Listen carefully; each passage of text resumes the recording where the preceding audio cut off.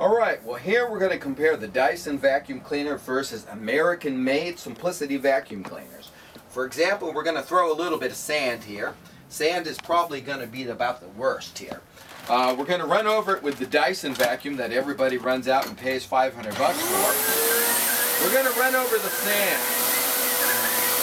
As I say, sand is the worst. After you run over the sand there, and Dyson looks like it picks everything up, but then again, if you hit it with a good American-made product here, you press that down, you notice all the sand is jumping up off the carpet there. Basically, all the Dyson does is smear the sand in the carpet. You get a nice American-made vacuum cleaner.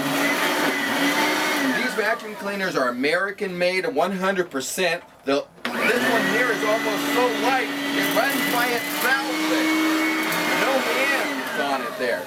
But this is one of the American-made vacuums. This is the startup model. These sell for under 300 bucks. But what's nice about these machines here is no tools required to change the belts. You need to change a belt on a Dyson over here, you're looking at about 150 bucks. Now you're looking at 95 bucks for the part, $49 labor here. Here you're looking at a $4 belt change. Plus we're back in America. So if you're interested in finding an American-made vacuum cleaner, come on down. We got different models. This is the startup model. This is under eight pounds. You can lift this up here with your little tiny pinky here, and it almost runs by itself. If you're looking for lightweight, it's the lightest vacuum cleaner on the market, more power and suction than a Dyson. Later on down the road, if you're looking for other models that have onboard attachments, yes. We have American-made vacuum cleaners here that have the onboard tools. Gives you the mega lift here so you can get the easy high ceilings, get the cobwebs down here. All the tools are on board the machine here.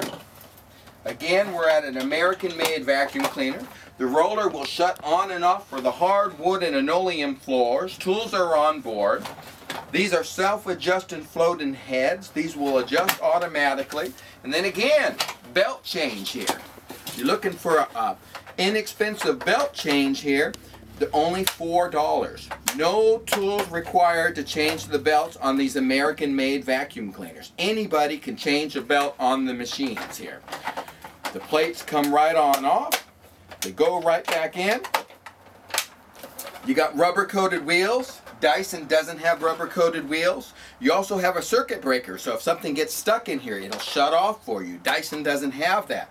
So if you're looking for American-made vacuums, come on down and talk to me and we can check out all the different models. We have different models available and different features. Easiest way is I've already proved to you the startup model under 300 bucks will outperform a $500 Dyson.